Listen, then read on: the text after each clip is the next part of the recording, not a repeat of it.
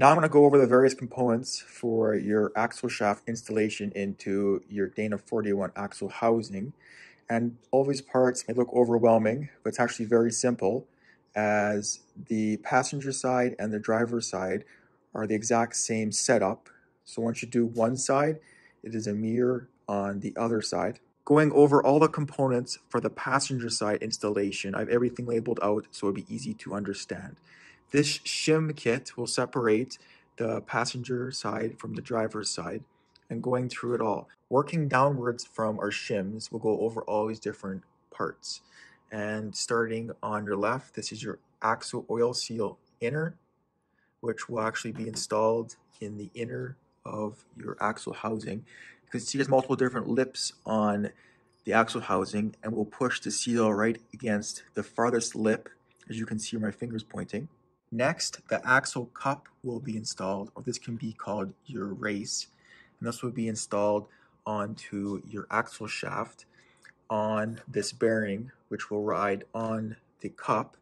And this bearing has been already pressed on to your axle shaft. Note this bearing has to be pressed on with a hydraulic press because it cannot be just pushed on.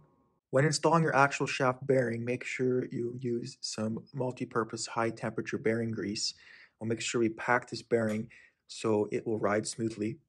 And once you got your axle oil seal inner installed, you will just push our axle shaft into the axle housing or just push it in with the bearing and then we'll have to put our cup on top of our bearing and then we will use a hammer and tap your cup into your housing and then it'll seat on the next ridge on your axle housing. Once you get your axle shaft assembly installed, then you have to move the fun part, which is the shimming, so we get the right end play on our axle. You want to make sure we get this set right, because if you have it too tight, you will burn out your bearings, and too loose, there'll be too much slop. So it's critical we get our shim kit installed correctly. So the shim kit will be installed directly on top of our axle housing placed on here, and on top of that, we will have our bearing retainer, and then we will bolt our shims, that's kind of a guessing game, and then we will use these holes on our shims, go through these holes, and then through the holes on the bearing retainer, and then we'll use these 3 8 inch fine thread, one and a quarter inch long, with lock washer and nut, and these are grade 8, and there's six of them, and then we will torque these nuts. When you get the appropriate amount of shims installed, between your bearing retainer, we'll want to make sure we use a dial gauge and we'll get six thousandths of an inch of end play on our axle shafts. And once we've determined that, we can then install our brake backing plate on top of our bearing retainer.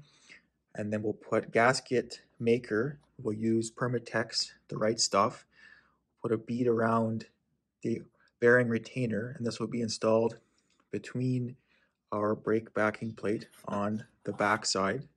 Once you have your brake backing plate installed, now we have to install the axle oil seal with gasket and our grease retainer on the front side of our brake backing plate. As so, and then we will feed all of our six bolts through the whole assembly, and then we will torque these bolts to 30 foot-pounds. Now it's time to rebuild our axle shafts in our Dana 41 axle. And the first step is to use some acetone to clean out the inside of your axle housing. So ensure there's nothing in there and then it'll be an easy fit for our seal to get in. Now we're going to lift up our axle and stand it up straight and down so we can put in our oil seal directly into the axle housing and we'll just pound it in until it hits that inner lip where my finger's pointing. This is your inner axle oil seal want to make sure we install it the right direction. So you want to have it so the more metal part is facing upwards and the lip is facing inwards and then it will be installed as so. And we'll have to drive it down using a hammer and a large socket. Standing your axle on and make sure that your drives are nice and square. We're just using a inch and 7 16 inch socket with an extension on it and just hit it with a hammer and that will drive your oil seal down. Drive your oil seal all the way down using your socket and it is all the way set into the axle housing all the way onto that back lip I showed you before. So once you got your oil seals uh, in the axle, you want to have a take, take a look at the shaft itself and just kind of maybe sand off uh, some of the rough edges and uh, that will allow the axle to spin uh, on the oil seals on both sides. Once you're finished sanding, use some acetone to make sure you clean out the bearing and then get anything off your axle shaft. The bearings have already been pressed onto our axle shafts and we'll just use some high temperature bearing grease and we'll pack these bearings full of grease. The wheel bearing grease has been packed all the way into the bearing and you can see it's coming out of the bottom now. And we'll just clean that up. That's a good pack for your bearing. It's the only really way to do it when you have your bearing ready pre-installed and pushed on. The next step is to apply wheel bearing grease to the inside of your axle housing. And we'll put a little bit on the oil seal at the back as well, just so it rides in the axle. A thin coat of grease has been applied to the inside of the axle housing and now we can install the axle shaft directly into the axle housing. This uh. is the shorter one. We'll make sure we have grease applied to both sides where the seal will be riding. And we'll just push it all the way in until it seats all the way in and it's engaged with the differential. Once the axle shaft is fully installed, now we have to install the axle cup. And this cup has two different sides, just one side that's wider and one side that's not as wide you want the wider side to go towards the bearing and then we'll just slide right on and we'll just push right onto the bearing. Now it has to be tapped on. So don't overthink this, just get a hammer and tap it on.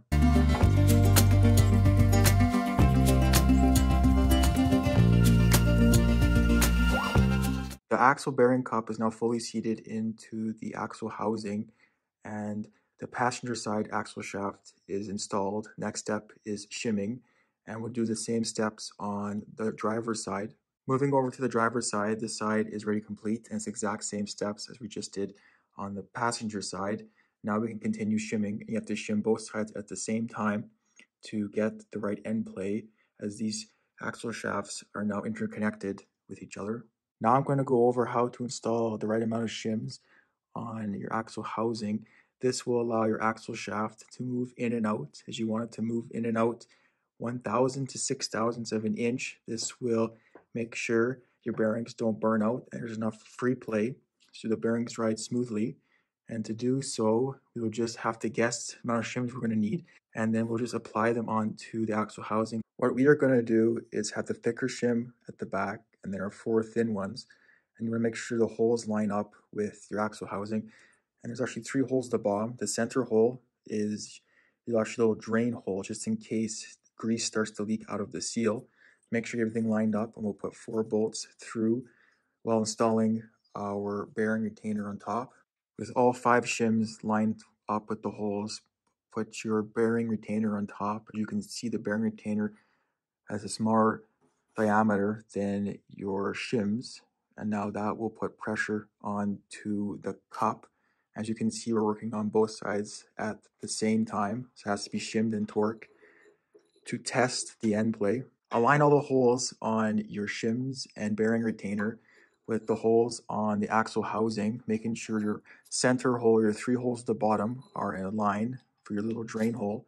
And now we'll put our bolts right through all the holes. Fast forward and five of the bolts are now installed. The grade 8 bolts will be facing with the nut towards you. And then we'll just install all six. And then we'll have to torque these up with a nut to get our 30 foot-pounds so we can test the end play with a dial gauge. Now thread all six nuts on the six bolts. All six bolts are now torqued to 30 foot-pounds on both sides and you can see the shimming is not correct. The axle shaft doesn't even spin, so we have to add more shims behind our bearing retainer to give more space so there is actually some end play. After our first attempt not working, we have to go back to our shim kit and get more shims to bring out the spacing from our retainer. It'll put less pressure on the bearing and allow for more end play on the axle shaft. So now it'll spin. Now fast forward and there has been more shims applied to your axle housing behind the retainer and that has brought out the spacing and now the axle shaft does spin. Ensure you add the same amount of shims on both the passenger and driver side And finally, you have to torque all six bolts to 30 foot-pounds before we mount a dial indicator to the end of the axle shaft to test the end play in and out and make sure it's in spec range between 1 thousandths and 6 thousandths inch. Make sure when you get one side set, you shim them to the same amount of shims on both sides and then test the dial indicator on both. One critical step before we mount the dial indicator to the end of the axle shaft is we have to make sure we use a rubber hammer to give your axle shaft three good blows and that will send your axle shaft all the way to the other side against your bearing retainer. And now we'll do that the other side, so give me a second. After hitting the axle shaft with a rubber hammer on both sides, we now know our bearing and the inside is now pushing against our bearing retainer. And now we can mount the dial indicator on the end of the axle shaft. And how we have our rear axle set up with the dial indicator is as so. We have the rear axle sitting on two cinder blocks, so it's nice and sturdy. Then we have a spare bumper on the floor. Then our dial gauge will stick to it with the magnetic base. And then we'll have it perfectly in line with our axle shaft. With the dial indicator set to zero and it's right on your axle shaft, we can now determine our end play. And we will give it a pull in and out. And we can see it is moving four thousandths of an inch. And you want it between one thousandths and six thousandths of end play as per manual specs. So we know that this is shimmed properly. Moving from the passenger side to the driver's side, it's the same setup with your dial indicator. Set it to zero, we'll test the end play on our drive shaft. Give it a pull. You can see we're about three, four thousandths of end play. Note that this is set right as it's in between one thousandths and six thousandths end of free play. And now we can continue putting on our brake backing plate. The passenger and driver side are now properly shimmed and there's the right amount of end play on your axle shaft. The next step is to take these six bolts apart so we can install our brake backing plate on those bolts. And then on the back side, we'll install the right stuff gasket maker on this side to prevent any oil from seeping out. And then we'll have to flip this over when we install it. And on this side, there will be a gasket installed. The gasket will be installed so the drain hole is at the bottom. Then you have your oil seal on top. Make sure your holes are all lined up with your drain hole at the bottom. And on top of that will be your next gasket with the drain hole aligned. And then on top of that, you will put your grease retainer on top, lining all the holes with this catch part on the grease retainer towards the bottom. And then we'll have our bolts all the way through with the lock washer and we'll torque these to 30 foot-pounds. Now loosen all six nuts.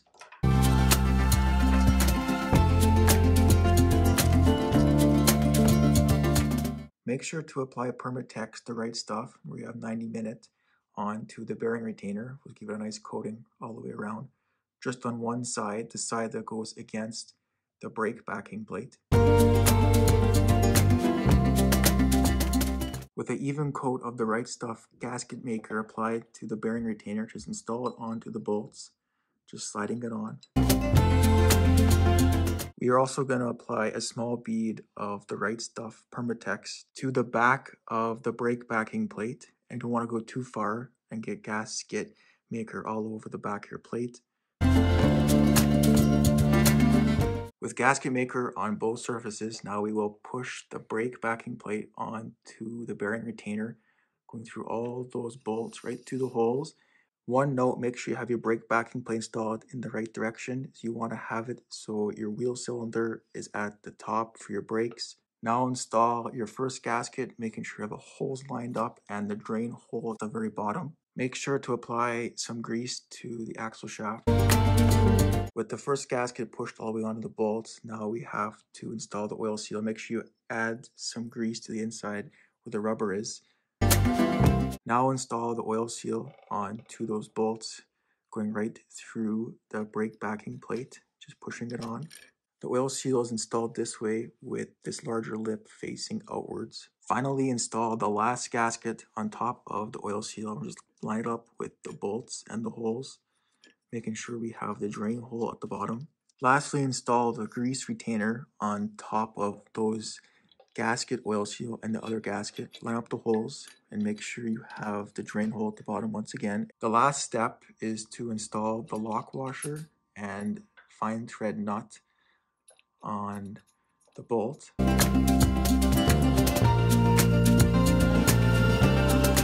Make sure to torque all six bolts to 30 foot-pounds. Use a torque wrench and a wrench to hold in the back. And we'll do it in a star pattern so it puts even pressure onto the gasket maker on the back. The driver's side is the exact same steps that just showed you on the passenger side in regards to installing your brake backing plate, the gaskets, the oil seal, and your grease retainer. And these bolts are torqued to 30 foot-pounds as well.